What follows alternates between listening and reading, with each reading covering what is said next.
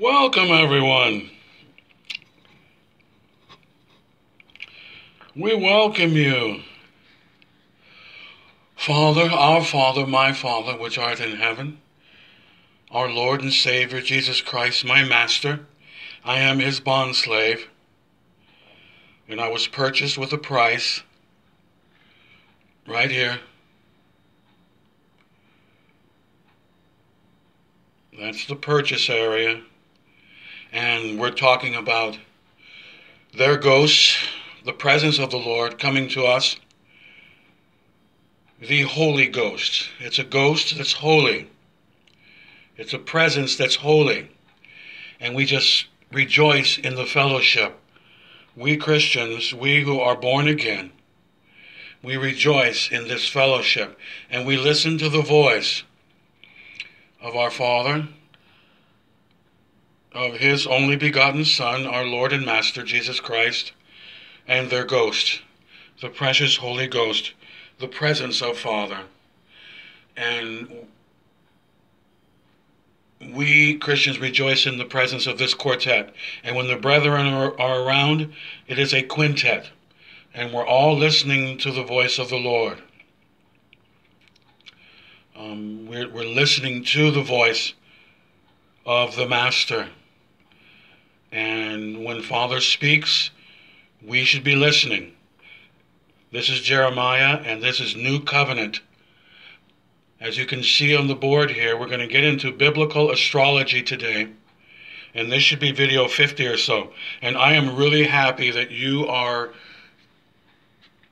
taking the time as we all learn to gr- as we grow in the grace and knowledge of our Lord and Savior Jesus Christ. And we greet you, of course, in Jesus' name. Amen. We, we, we rejoice. And again, I say rejoice in all of the things and, and, and the time that we spend,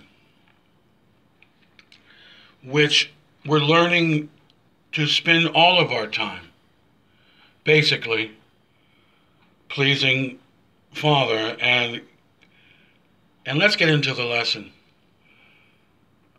The Lord is our shepherd. He's my shepherd. I don't have any wants.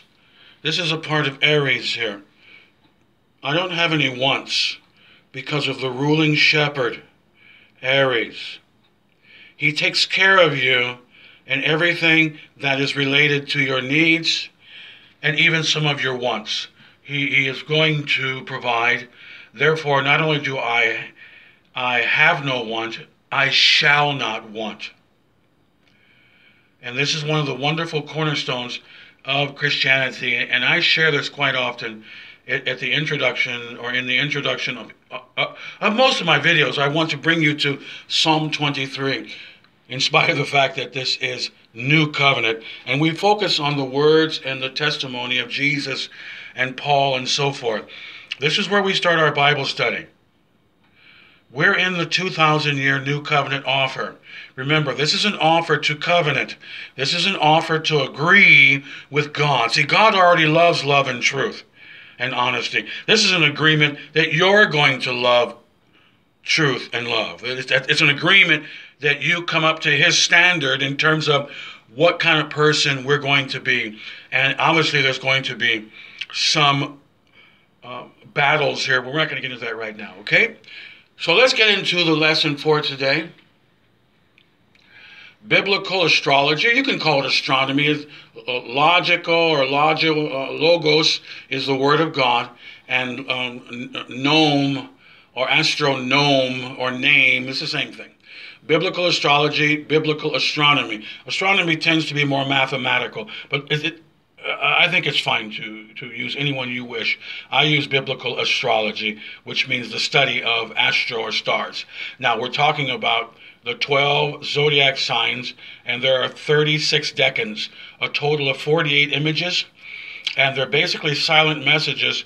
When you can put the dots together and draw the lines, you can see with the names of the stars, such as Akrab, which means conflict, that belongs here conflict. Number three.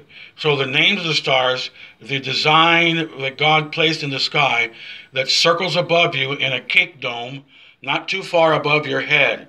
And uh, the, it contains 48 images, and they are seasonal. And of course, this is pertaining to the beginning and the end, Alpha and Omega, which we get repeatedly uh, a few times there in the book of Revelation. So, what we're getting into now is the good news in the sky of the zodiac belt that spins above you.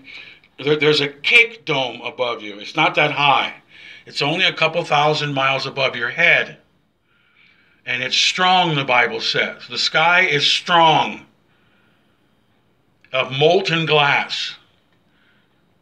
Okay, the Bible teaches this, and I, I, I might give you a sneak preview into my my final prop, my final lesson on geocelestial physics. What is actually heaven and earth? What are the measurements and so forth? Uh, I go into that, and I might give you a sneak preview into that a little later. Okay, as we get into this Good news in the sky, the gospel, which starts out with the birth of Christ and basically ends in Revelations chapter, Revelation chapter, I would say probably five, where the Lamb of God is also the lion.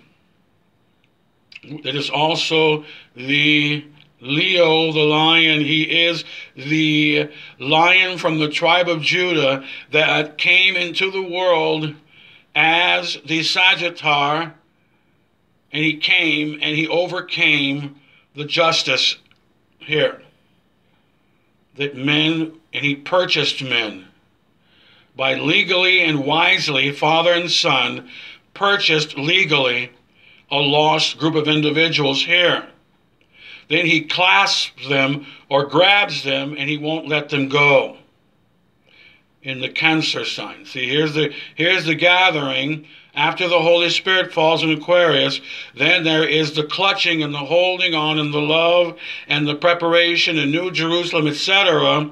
And then it culminates, of course, and ends with from birth all the way around until we get to the book of Revelation, where Jesus is worthy to loose the seven seals thereof um, of the book of life. And he, we can get the names now, we can read the names.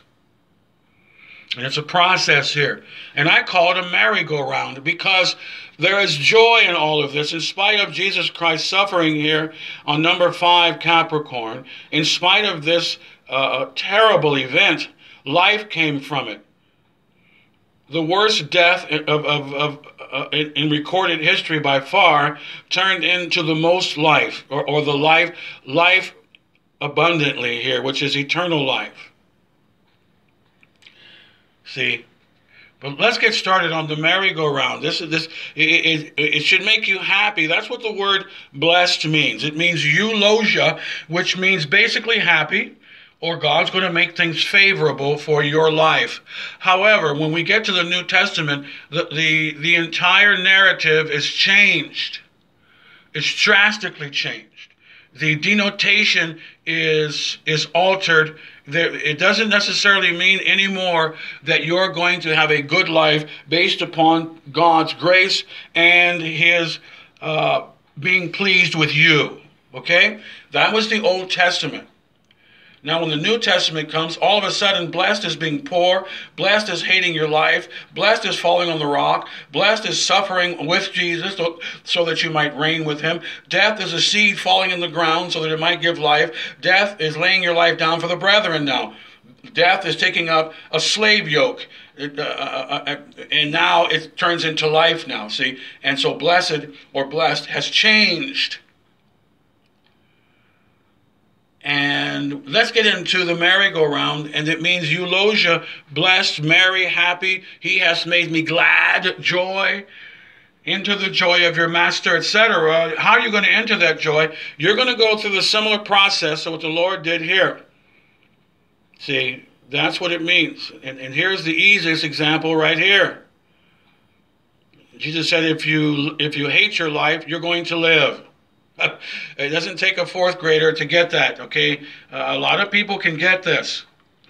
The basic good news, when I teach, I teach in general basic doctrine. I am a general practitioner, and I am not into getting into, or rather, I'm not going to get into uh, biblical astrology in depth. For those of you who are interested, you can go online. I just saw a web page from one of the Christian brethren. Uh, this gentleman went into like super detail. We're talking, we're talking pages and pages and pages. I decided to narrow it down to the basic uh, cognates of what this means. Okay, um, as far as a lot of subtext, I'm not going to do that. Uh, I'm not going to go into star names, etc., too much here. We're going to get into what the Bible has to say about these stars, especially pertaining to the gospel and sound doctrine. That's what Jeremiah does. And many of you have noticed that about this ministry. My servitude, uh, being an Israelite, that's what, that's what Israelite means. It means you're a true servant. And I want to be faithful. That's what I want to be. And you got to want to be faithful. And in spite of some uh, uh, uh I don't know what, what you would say uh, uh, challenges. Uh, you, you still uh, you still want to be faithful and so on and so on. You know, you, you, you want to, and I don't want to go there right now. Let, let's stick to good news in the sky. Bethlehem, to the lion of the tribe of Judah. So it's a merry-go-round. And what makes you merry, what makes you happy, is to see the absolute authority of the one who is in charge and the absolute authority of the one who controls Hydra and controls this enemy, see? In number three, Scorpio, okay? We're rejoicing that this belt and these 12 signs and 36 decans, of which I'm not going to go into too much. Uh, I did have a lesson on decans. Uh, I, I am not going to go into decans. I've decided to make seven boards and make them quick. Okay? And as I said before, there are other brethren out there who will help you if you're really interested in this. I'm going to give you a basic overview as it is related to the good news and sound doctrine, okay? The New Testament basic sound doctrine. And that's my basic job as a Bible teacher. Okay? I am a general practitioner of, you know, of a Bible teacher per se. Okay? Now, once again, I am Jeremiah and I am going to take you to and drop some knowledge on you from heaven and let's get started.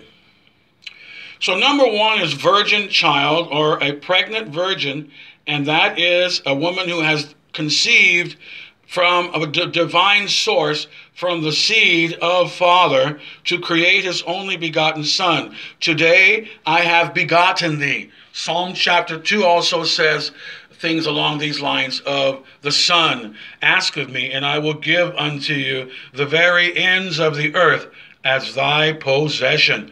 And that's speaking to his Son.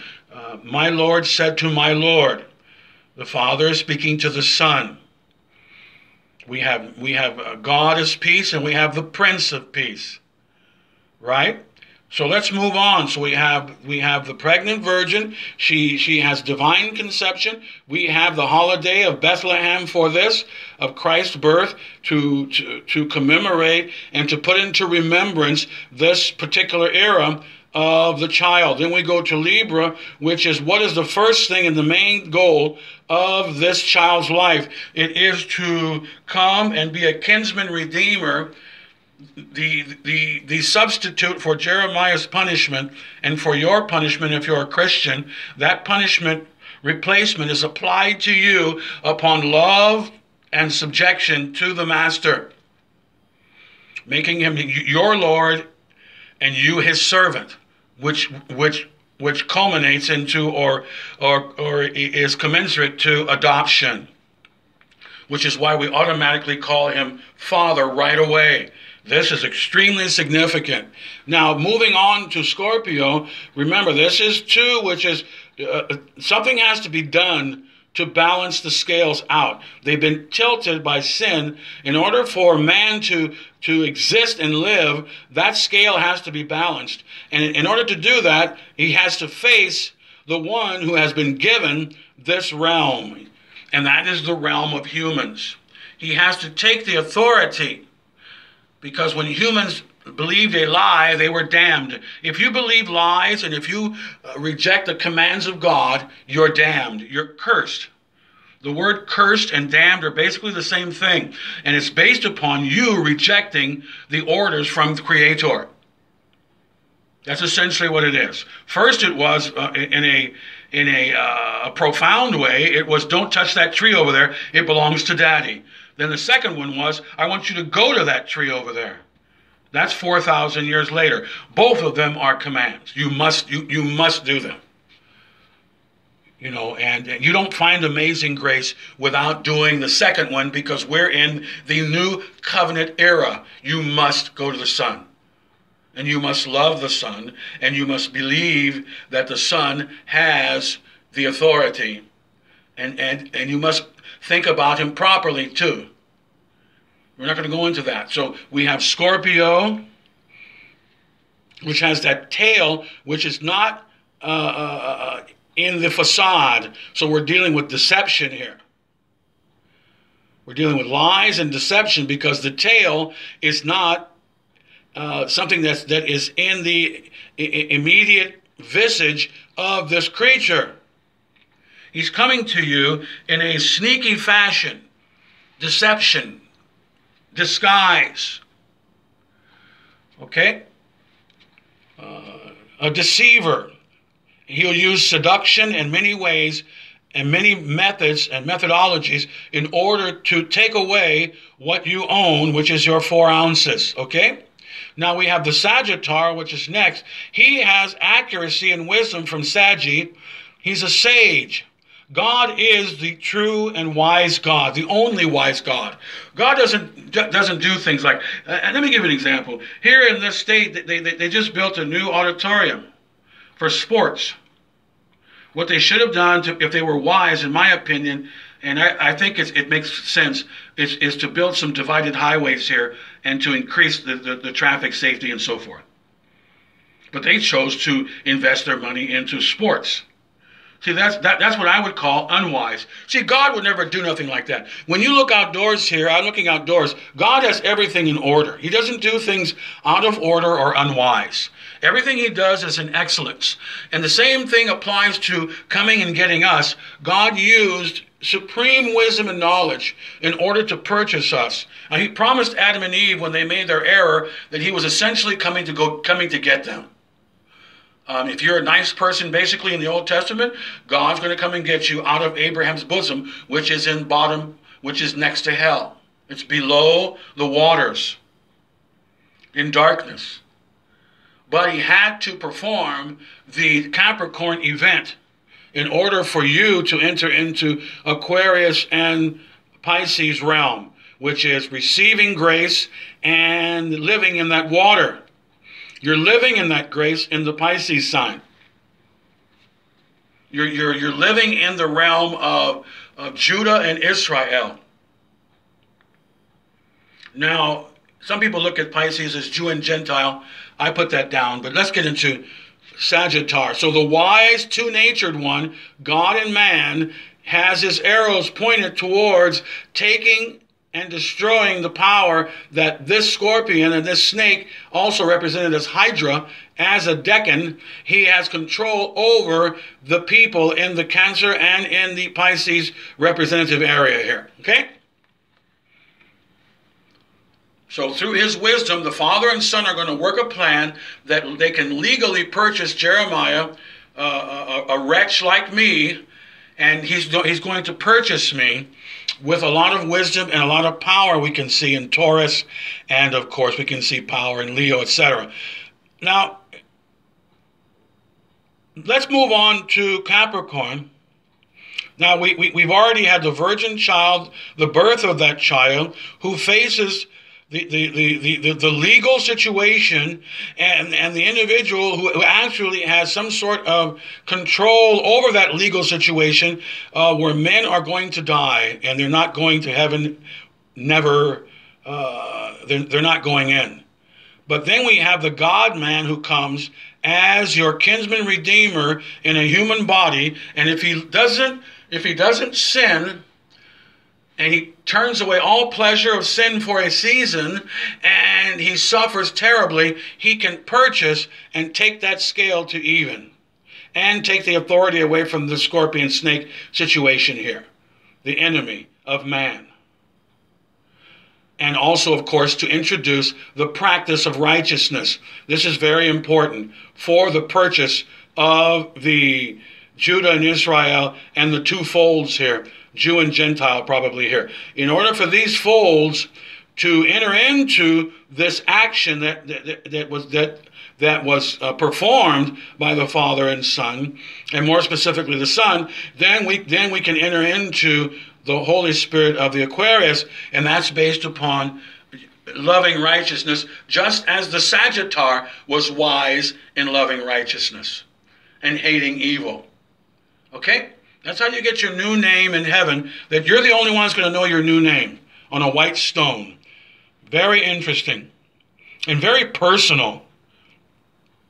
Um, uh, Christianity gets awfully personal at times, especially in that Revelations chapter 2 and 3. Uh, there's some very beautiful things there that's only uh, recorded there. So we now we go to the God man who was so wise, who lived holy, with two natures as your kinsman redeemer, who went to the courthouse and said, I'll pay for Jeremiah. I have the I have the goods. I'm I'm pure and righteous, and I'm going to offer it to the to the Father.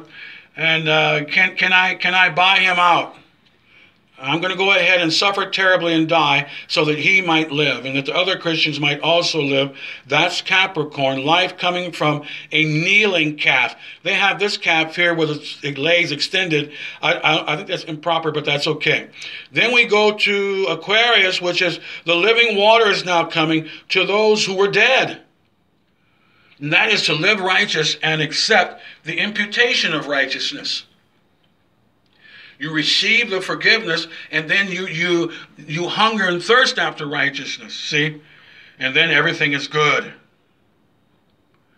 By receiving the King of Righteousness, and getting a 100% imputation, just as if you never sinned, and maintaining that acquisition by the initial humiliation and continued humiliation in your life, such as turning away from sin, rejecting sin, and loving righteousness and denial, just as the Capricorn did, the original Capricorn, and you become a living Capricorn. And that brings you to a new Capricorn, and then you receive the living waters. Then you enter into uh, a grafted in Israelite here who's tied to Cetus, the sea monster, and then we, and that is of course is groups, and one is uh, Cassiopeia. I'll tell you a couple of decans here real fast. One is Cassiopeia, which means the enthroned woman, and and the Andromeda is the chained woman from Andromeda meaning the woman is all over the place.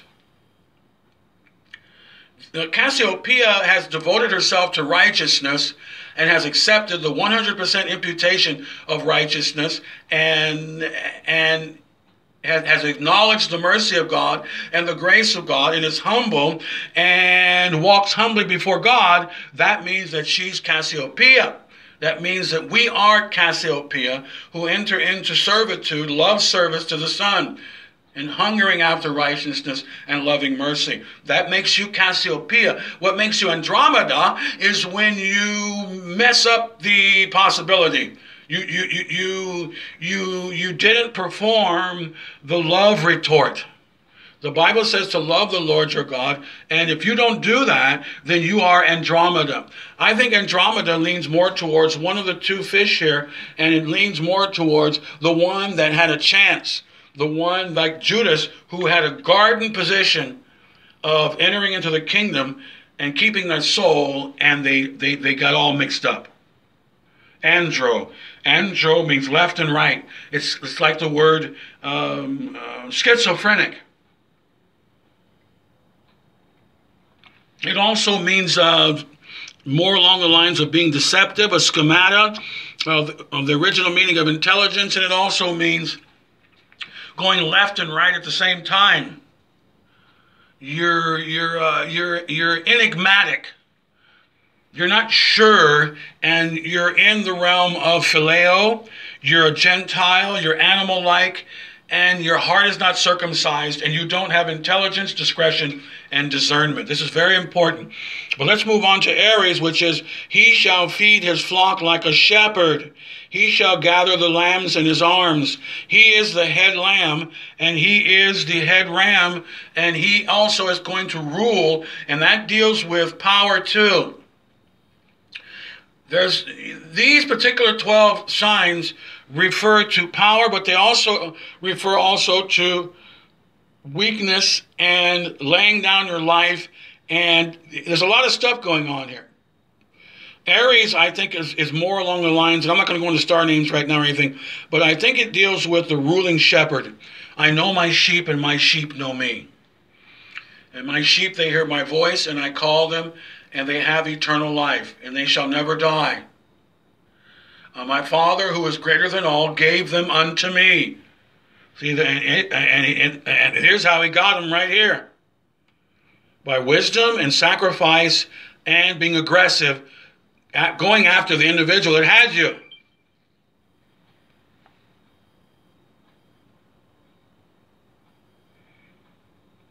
Okay? So let's move on. No one is able to snatch them out of my hand, which goes to Cancer. Now let's go to Taurus. Taurus is essentially a power figure. We're talking about El Shaddai here and the power figure, okay? And the power figure is a has the bullseye and so forth. And let's move on to 10, which is twins. There's a lot of speculation amongst well-educated people um, and, and not so educated like me, just mildly educated. But the, the twins, some people say it refers to Judah and Benjamin. Uh, some people say it refers to the two natures of Christ. I think that's more along Sagittarius. Uh, however, they do say that the Gemini does also refer to um, Jesus being 100% man and 100% God. My opinion on Gemini is, is it might be the Father and the Son. That's what I think. And that, of course, is in John chapter 15 and so forth. John 15 and 16. We, we won't go there. So. And then, of course, now we have the two folds, Gentiles and Jews. They're all one. There's no such thing as Jew or Gentile, uh, um, male or female, uh, slave nor bond, slave nor free. Everyone came from uh, uh, Book of Acts, the same ethnos. Everybody came from Adam and Eve. There are no genetic differences in humans. That is a myth, okay, that has been promoted by the devil, probably, um, uh, but who, we're not going to get into that. So, and he's going to hold these two folds. And then we have Leo, of course, which is the lion of the tribe of Judah hath prevailed. In other words, he did come, he was smart, he was strong, and he did care. See, there's a lot of care going on here in this. If you look at this and look at some of the names of the stars, uh, uh, for example, um, uh, in Scorpio and Sagittarius, we have a decan kind of in between, if my memory is correct. That's Ras Algethi, which is in the uh, Hercules, uh, uh, Perseus, or Aruga, Good Shepherd Decan, which refers to the head of him that crushes. He's doing all of this not because he has to. This is very interesting what we're looking at all 12 of these that that the reason why we, we're, we're, we're looking at a merry-go-round is because we're happy because all of this is being performed for you. This is what's amazing about all this is that God is in heaven and He's relaxing, as they used to say, maxing and relaxing, whatever. Um, he's happy where He is.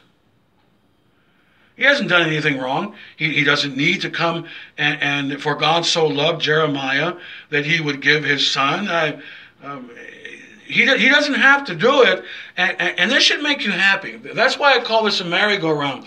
And I, it's also, a, of course, it's a prophecy go-round here. See? Prophecy. All these 12, this is how they look in the sky um, from a raw perspective of looking at the zodiac belt. You can see these images here. You see this, and you have to draw the lines, and this is what you do in your mind, so to speak, and you can come up with the images that are here. Okay? And when we can see that God is omniscient by doing all of this, He sees everything. He, he's fully wise in Sagittar, and He's full of mercy, and we can see that throughout the entire scope here.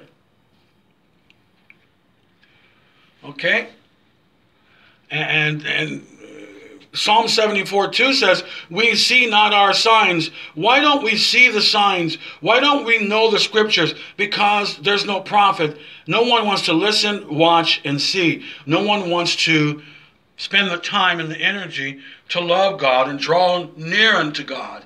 And, and that and the results are you're drawing near to entertainment, family per se, which is not all bad, but it's all bad if you don't have a lot of time for the Creator and the one who performed all of these things for you to enter into fellowship and to be forgiven and have your scales even. That's a lot of work. So you need to ascribe to the Lord the glory to His name and the honors due to His name. Okay? We see not our prophets here. Why? Because you're, you got, your, your Bible's collecting spider webs in the corner. You have to take time. Now, you don't have to spend the time Jeremiah does, but I would suggest that you find some time. Uh, um, uh, I, I, would, I would admonish you as a friendly warning that uh, you need to, to do what pleases God. That's what we're here for. okay? Well, let's, let's get to board number two here.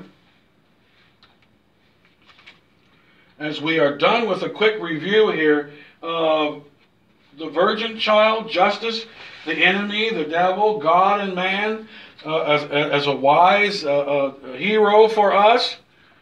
Jesus is our hero, and, and, and, he is our creator also, and, and he's going to die, which is a wise thing, an intelligent thing to do. If you care about somebody, you are smart enough to to know and to perform and to know and be intelligent enough how to get that person out of jail. And, and the results are living waters. The results are men know how to live righteous now. Men know what the commands are because through the commands and the teachings of love, you're going to live. If no one teaches you to love, you'll die. You'll die living in hate. If no one teaches you the truth, you can be deceived by the scorpion, by the snake, and think that you can get away with not adopting truth and care into your personality. Be it through Muslimhood, communism, Catholicism, and the Jesuit oath, be it a backroom commitment as a politician in, in, at two in the morning uh, with the devil or something, or a banker who charges 30% interest compounded daily, or any evil act of any kind can disqualify you, especially pertaining to. Uh, well, any evil act will be recorded, and you'll be, you'll be held accountable for that until you come to the Son. See? then the, the, the, the dynamics change. Okay? And that's, we won't go into that. Now let's go into Virgo and Libra in detail, and I'm going to stop here. So Virgo is the pregnant virgin or coma or uh, the, the desire of men throughout all of the ages. That's what coma means. Desire of ages. What do the nations want? Well, they need the prophet we just talked about in Psalm 74 2. We don't see nothing. We don't know nothing. we, we don't know how to, to, to, to please God. We haven't been introduced to the method of pleasing God, which is the only way is Christ now. I am the way to please God. I am the way to remove your scale being tilted. And therefore, coma is a very important uh, um, decan in all 36 decans because that's the Christ child who, who is going to grow up and purchase legally. And that means Hosanna for not only the Jews, but the Gentiles also. That means the favorable year of our Lord. It means also save us. Jesus' name means God saves. Jesus saves. That's one of the basic uh, uh, uh, premises or teachings of Christianity is that simply Jesus saves. And the point here is that uh, uh, save us, it means that we're in a bad situation. And look, Hosanna is here. The favorable year, favorable, Hosh, Rosh Hashanah, the favorable new year, and the, the, the, the time that God is happy to come to you. When is God happy to come and meet you? Such as Bethabara in Jordan. He's happy to come when you eat living bread. When you eat servitude and you live humbly, you're going to meet God. He's going to be happy to come to you. He's going to make your house his house. That's the whole point of Beth or Bethlehem, the house of bread, or Bethel, God's house. He, he's going to show up where humility exists. Mary was very humble, so she was chosen. You can tell by her discourse when, when the Lord, when the angel came to her, that she was ready to do what? She was primed and ready to go for a servant position. She calls herself a handmaid. When you start calling yourself a handmaid and you're a woman or a servant and, a, and you're a man, you're on your way to salvation. You're on your way to making a connection and, and, and abiding in Christ. When you begin to speak the commands of servitude, you're on your way to adoption. You shall be called the Son of the Highest. The reason why is because you're behaving in humility and in meekness and self control and kindness just like your highness. That's the point. So we have the, the pregnant virgin who is pregnant by divine conception. And in Genesis 3:15, and her seed it shall bruise thy head. Jesus is going to come and bruise his head. And that's through Taurus, that's through the feet of Leo, that's through the arrow of the Sagittar and the and, and more wisdom of the Sagittar and more wisdom of the King Shepherd, the Lamb of God. He's going to bruise the head and he's going to use power and wisdom. And Jeremiah 50, 34 says, The Redeemer is strong. The one who came to purchase your errors is strong. And there's going to be rest in the land now because he's going to wipe out Babylon and wipe away Babylon's power over you. The devil and his organization, and that organization in spirit below the earth and in flesh in the governments and in the in the powers that be that can come and arrest you and so forth. So Jeremiah 50 is very significant because we're going to receive rest Jesus said, Put my yoke upon you, and you, you shall find rest for your souls. The only way to find rest from this coma boy who grows up is for you to be in full submission and to become an Israelite. If you want to enter into the commonwealth, eh, uh, and what's common uh, for us that blesses us is rest. Okay? 1 Corinthians 7:23, you are brought, bought with a price. So the full payment is by the kinman who grows up from the child. And Isaiah 26 says, With my soul have I desired thee, the world to learn righteousness. So we, our souls, as the deer panteth for the water brook, you and your soul have longed for like a tree for water or, or an animal. You've been thirsting after that which saves your soul and gets you out of sin and learn righteousness. See? The world introduced evil, but your soul in the world needed to learn how to be in full submission and listen to the commands of the Lord. And the first one, of course, is repentance and baptism.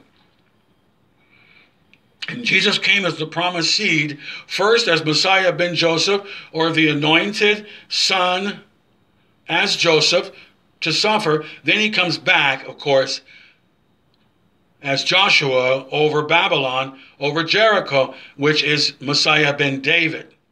Okay? And Psalm 74 12 is a key scripture because it refers to working salvation in the midst of all this world here. In, in the midst of the world and all the trouble, the Lord is going to work a plan of salvation, and then He's going to work a, a plan of salvation for you personally to draw you to the Son. And that child is coming after you in terms of a positive way, but in Bo and other figures, it's related to coming after the bad guy.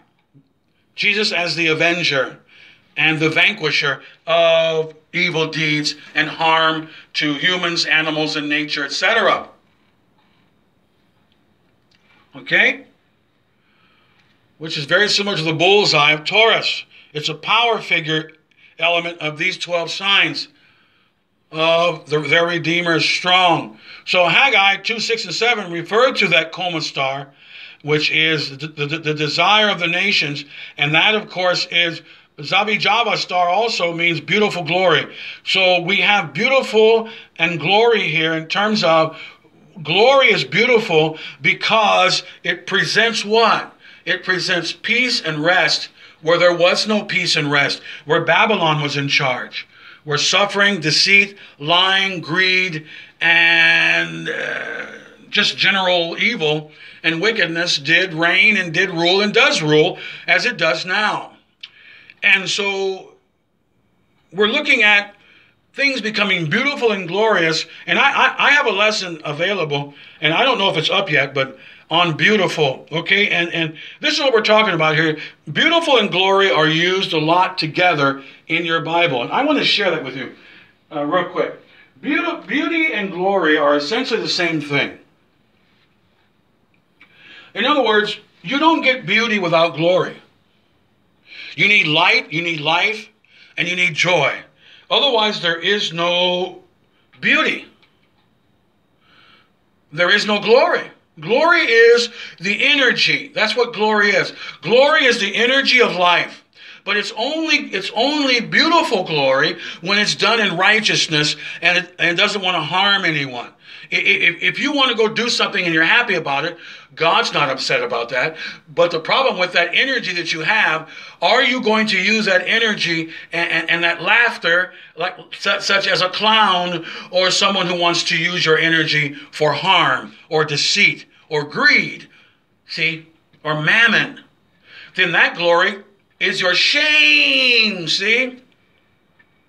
There's different kinds of glory. The stars differ in glory, the Bible says, in different colors, in different activities. So beauty comes from the idea that light and energy are being used to love and care and to support intelligence and introduce intelligence, okay? Then that becomes God's glory and that becomes pure light and that becomes acceptable to God, see? and it's beautiful. So the Bethlehem child comes to Jerusalem, which is the house of truth. Bethlehem is house of bread, but it's a house of living bread. If you read these scriptures, Jesus said, you will never die. If you share these scriptures, if you confess my name among men, I will confess your name amongst my Father. You need to get out there and share with mankind that love is the way to go and truth is the way to go and caring is the way to go without any uh, uh, prerequisites. Now, there are times when you do need to hold back on your giving and charitability and so forth, and your time and energy. But the Holy Spirit will guide you so that you're not disobedient to Matthew chapter 7, the first couple of scriptures there. You don't cast your love before people who aren't paying attention. That's the point. Uh, don't go there, okay? But this is the house of living bread that brings peace by shaking everything up, cleansing every nation, and that's what we're talking about here. Working salvation, that's what's going to happen, big time. And we're talking also about the tribulation period here, and we're talking about personal tribulation that comes to every Christian. You've been promised personal tribulation. In the world you will have tribulation. But don't get don't get fearful. Be faithful. Believe and be convinced that it's worth it. That's what the word faith means. You're believing that heaven is worth it. That's what it means. It doesn't mean believing for a hot dog or a brand new Mercedes. That's not what faith means. It doesn't mean that some of that may be applicable, but that is not the, the, the root meaning of, of, of, faith. Faith is the substance of things hoped for, which, which is being in the presence of the Lord, who's doing all this work. That's, that's what faith is. Faith is actually the blessed hope. It's believing in the confidence that's available for you to be with the Lord. Now let, us go to Libra. Libra is the scales of justice. This is the second constellation of 12, and there are scales where, where we measure things out. And we measure whether or not the individual has sinned. That's what it does, that's what it's for. It's the courthouse that keeps track of your personal behavior, whether you like it or not. One of the main things that humans like to do in Babylon and in the world is, is to try to ignore the fact that there's a judge downtown, that, that we live in anarchy, and they write books about it. They have three syllable words, four syllable words, uh, Voltaire or whoever, uh, uh, existentialism, uh, psychology, and so forth. They're trying to excuse behavior and take you away from the responsibility of your actions. And Libra is here to remind you that you will be held accountable for what you do especially the enjoyment of sin and hurting people and stealing from people and so forth. You're not going to have a defender in court who's going to uh, get you off. Forget it. Uh, uh there won't be a psychologist showing up. There will not be a, a philosopher from the, the, university, local university here, who's going to get you off from your sin and your error and your harm that you have performed uh, against people which is what all people do.